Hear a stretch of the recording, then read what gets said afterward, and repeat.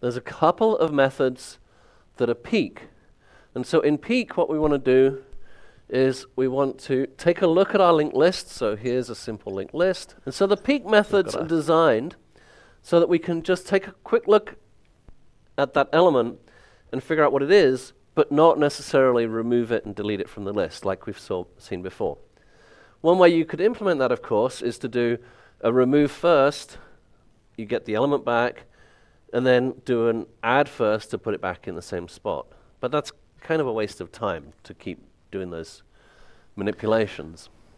All we need to do is get our head pointer and say, what's head.data? So our peek first method is just going to return head.data.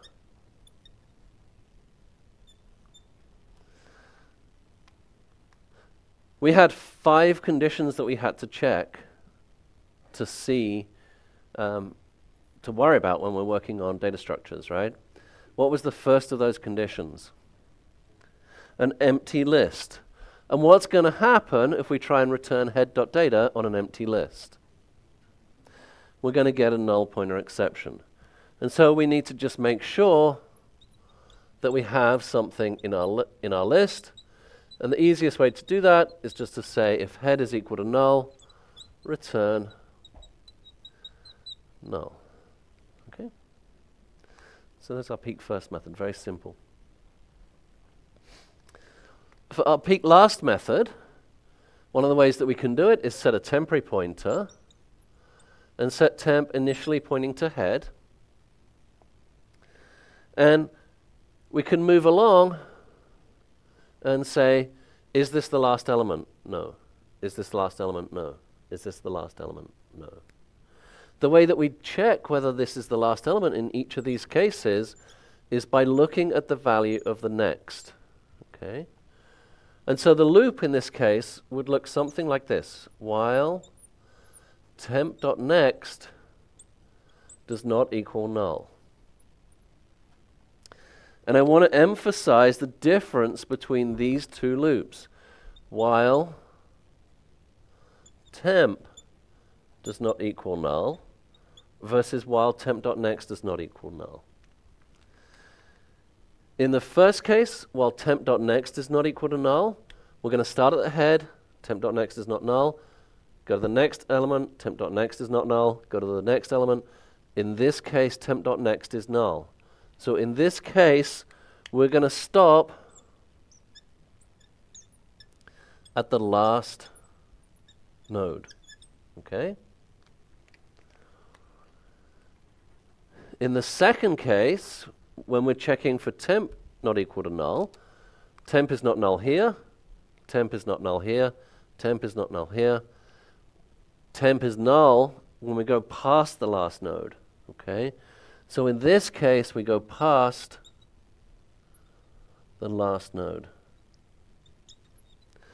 There are some cases where it's important to go past the last node, for example, in the contains method or the remove method where you're given an object to remove.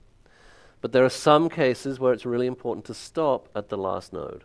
For example, if we want to do peek last like this, um, or in our remove last method, where we want to have one pointer that stops at the last node and one pointer that stops the node before it. Okay, So there's a very fundamental difference between these two. In a peek last method, we would say, well, temp.next is not equal to null. While temp.next is not equal to null, temp is equal to temp.next. And then return temp.data. Okay. What's the complexity of doing peek last like this?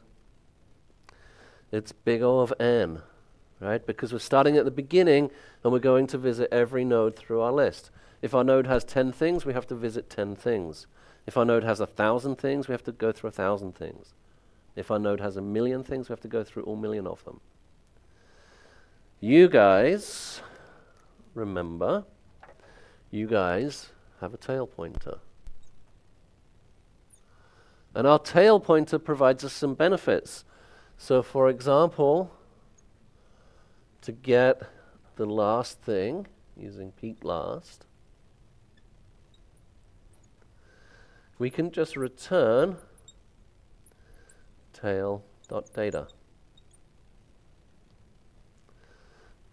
What's the complexity of doing that? It's big O of 1, it's constant time, right? If there's a million things in our list, we don't have to go through a million things to get to tail.data. We're right there. Again, we need to make sure that our list isn't empty, and we can also do that using tail. If tail is not equal to null, sorry, that's not right. If tail is equal to null, return null. Otherwise, return tail.data. So we don't get a null pointer exception.